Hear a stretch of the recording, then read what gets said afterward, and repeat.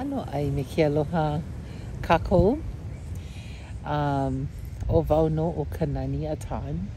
Um, ke kei ki a ka ohana aton a me ka ohana ka hoi vai o Robert a me Joyce ku mau makua mai wahiawa mai au um, noho au i hilo. Um, my name is Kanani Aton and I'm the child of the Aton and the Kaho'ivai lineage. Um, I come from Wahiawa on the island of Oahu, and my parents are Joyce and Robert Aton. I live now in Hilo on the big island of Hawaii, and um, I I just love practicing my culture and where I come from. Aloha vale Kala e I've had many teachers. Um, one who taught me the practice of hi'uwai or the practice of release um, and cleansing uh, with water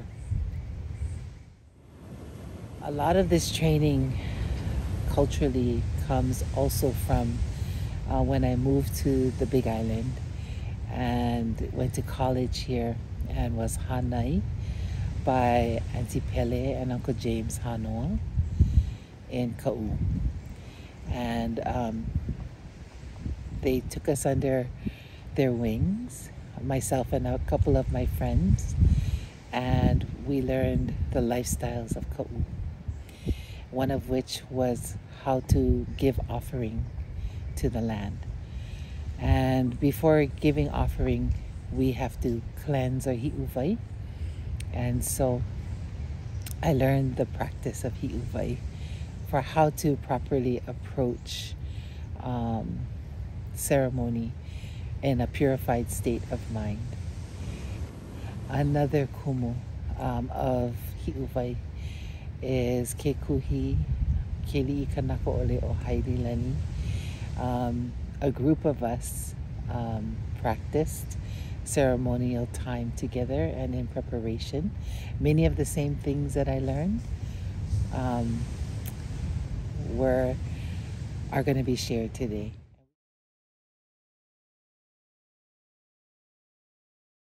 So the very first time that I was taught Hi'uwai was on my 21st birthday, and um, I was on the island of Kauai for a, um, a Ka Lahui Hawaii Women's Retreat.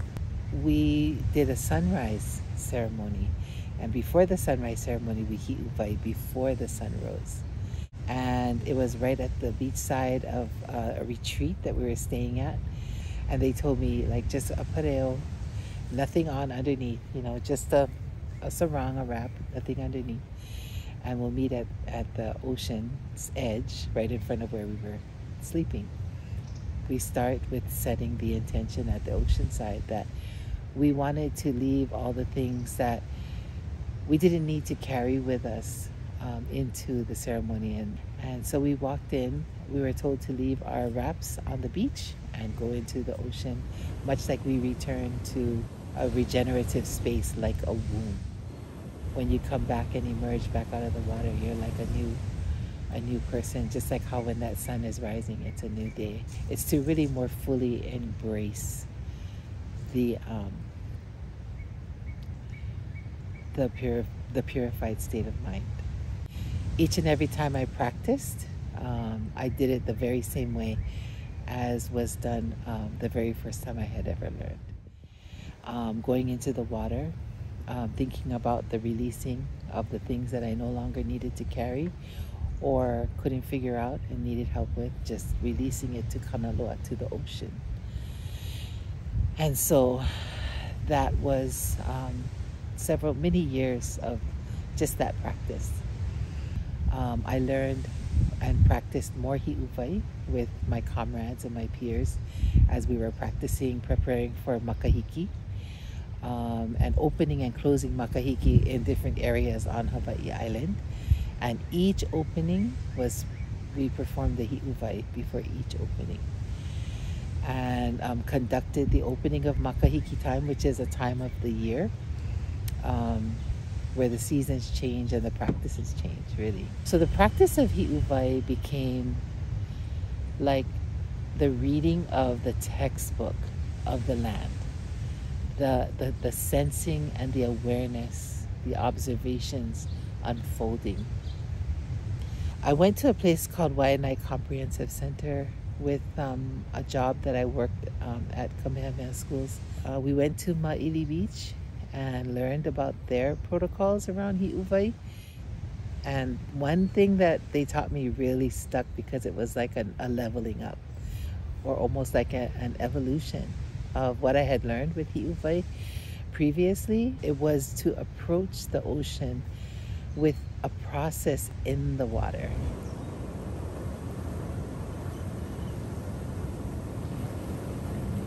You need to at least be able to articulate what your reason for going into this moment, this hi'uwai moment is. It might be that um, you know, I, I'm I can't seem to focus at work because I'm really stressed out or something really intense is happening with my family. I'm, I'm feeling a little bit overwhelmed. Um, gosh, you know, I've had to change so much because of these pandemic times. Um, everything that I used to do is now composting in the past, and out of all of that, I've got to regenerate and create a whole new me.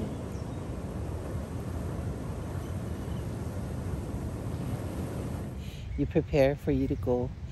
You go to your favorite beach or the spot that you know is where you want to be for your hi'uwai. Um, and then you just observe. Watch the ocean conditions. Um, watch for all the the the idiosyncrasies and the things that happen. Look for the really beautiful things that just pop out in front of you. Let your senses um, heighten and feel yourself sort of begin to open up to the pre ceremonial moments because it's there that the teachers are already starting to teach. Before you actually go into your, your place of interaction um, and exchange with the environment, always ask permission because the environment has been existing just fine without you you know the environment's doing its thing. It's got its own rhythm. It's it's it's existing and thriving doing its thing. Um, and and here you are with with a you know with a need to do this. So announce yourself announce what your intention is you know ask permission to enter. Be still to receive the answer whether it's a, a soft breeze that blows your way or a certain scent that you smell of, of a fern that's growing nearby or um, the sudden appearance of a, of a bird that, you know, or whatever it is, just something that tells you, okay, I, I'm not interrupting what's going on here. It's okay for me to conduct my ceremony. And then you move in. You can put your things down, kind of set up a little spot for you. Um, observe the ocean conditions, look at where you're going to enter, and when you see the way to enter is clear, then you go in and you carefully, slowly get ready to go in. Um, right before entering the water, you can call in your ancestors.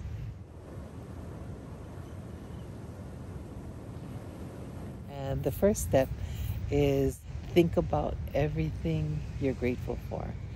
Um, and it could be, you know, just grateful for the fact that I have the mobility to be here, the opportunity to independently get up and go and be here, to, to have this body of water to interact with. Once you've thought about everything that you need to think about as far as gratitude, then you take the first dunk of three. You take in a deep breath, you dunk in the water, and you blow all of your breath out.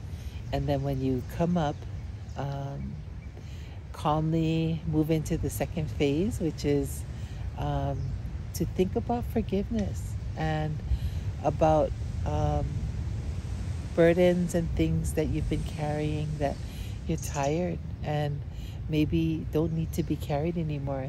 Either they've resolved, it's been resolved, or it's moved on or transitioned, or um, you've struggled enough to the point where you're ready to just say, I, I need help carrying this. When you're full of thinking about that concept of forgiveness or those that maybe you need to forgive, take a deep breath and calmly dunk back in the water, immerse yourself in the water, blow out all your breath and come back up. Once you've created that space of forgiveness that was born of that um, intention of gratitude, then you move into a space of inspiration and you ask for inspiration for new ideas, new new connections, new solutions, new perspectives, um, new pathways, new resources, new relationships, um, new creative sparks, and those kinds of things. Then you take another deep breath, the, the last one, and you immerse yourself and blow out all of the air from that breath and come back up.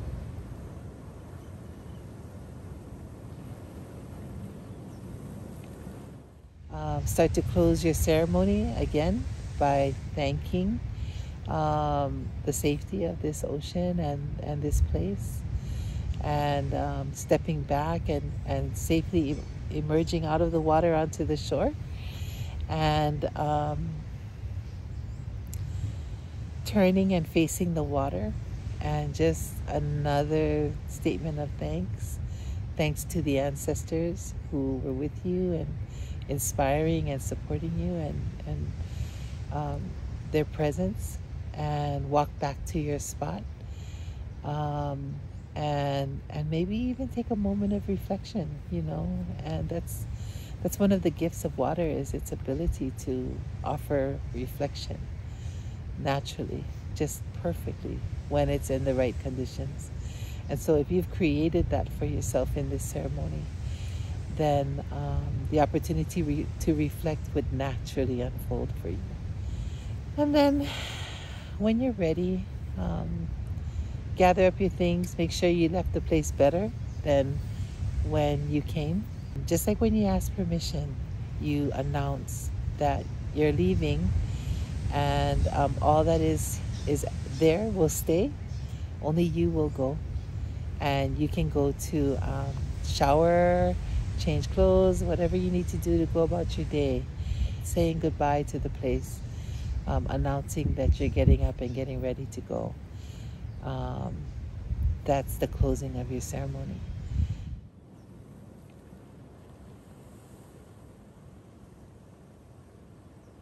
It doesn't have to be ocean if you're not ocean bound, if you don't have access to ocean. Um, you can walk into, you can hi'uwai in many other ways. It's to, to remember that we have a companion. We have a companion in our natural resources in the natural environment, wherever there is a body of water, um, real or contrived. But if you set the ceremonial mindset of reset, of purification and cleansing, and uh, therapeutic interaction with water. So that is for you to explore. You know, to not feel bound by the rituals and the practices of those who are close to the ocean.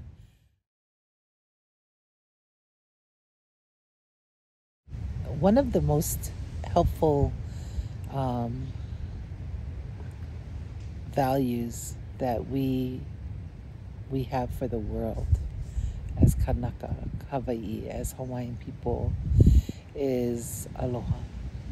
And from that place, of, of understanding, of expanded awareness, of deep compassion. It is that expanding understanding and allowing for many definitions to be expressed for such a ceremony as cleansing or purification. And so in some places I've heard kapukai, in other places I've heard hi'uwai, and for many it's it's a releasing or a ho'oku'u, and for others, who don't speak Hawaiian, it might just be a reset, a rejuvenating, a recreating, and a cleansing. And always with aloha. A'ohe pauka ike kahalau ho'okahi.